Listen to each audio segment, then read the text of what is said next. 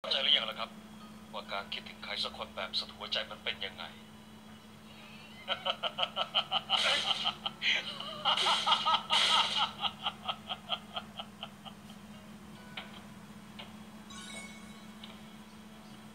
ผมกลับมาแล้วครับ จารุของชม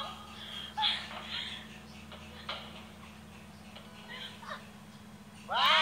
ย และแล้วคุณชมก็ทำได้ทำให้ผมได้มีโอกาสกลับมาที่บ้านหลังนี้อีกครั้งหนึ่งเอ่อเดี๋ยวขอโทษนะครับ คุณชลับช่วยไปตามคุณโชมมาพบผมหน่อย เดี๋ยวจ๋ารอแป๊บนึง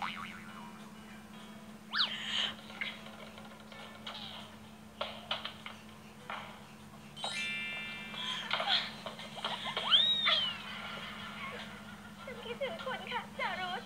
ผมก็คิดถึงคุณตลอดเวลาเลย ป่าว่าไงว่าตามกันค่ะ ผมเฝ้ารอเพียงเวลาร้องเพลงเดือนเพ็ญเพื่อรอจะพบคุณในค่ำคืนวันนี้ อีกรุธน่ะมันร้ายมันคิดจะแยกเราสองคนออกจากกัน ไม่มีวันสำหรับชิคุณชมครับ ผมคิดว่าเรื่องนี้ ถึงเวลาที่เราต้องมาทำส่วนที่สัญญากันมาแล้วล่ะครับ